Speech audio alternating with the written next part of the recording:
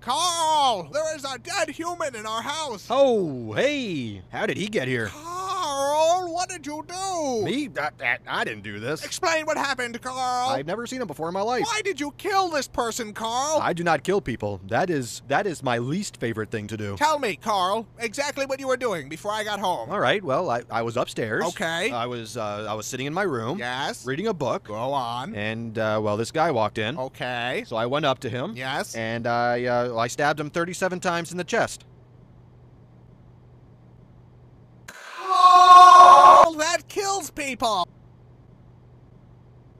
Yeah, I'm in the wrong here. I suck.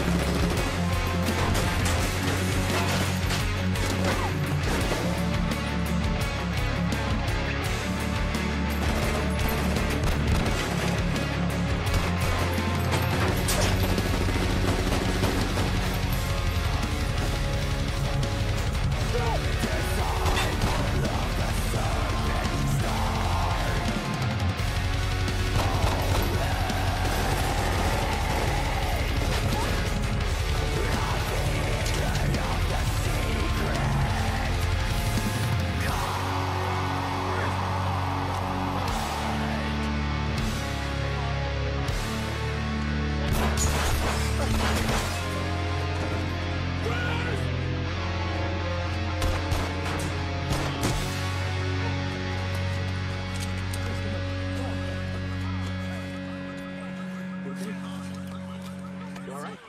Go, go, go.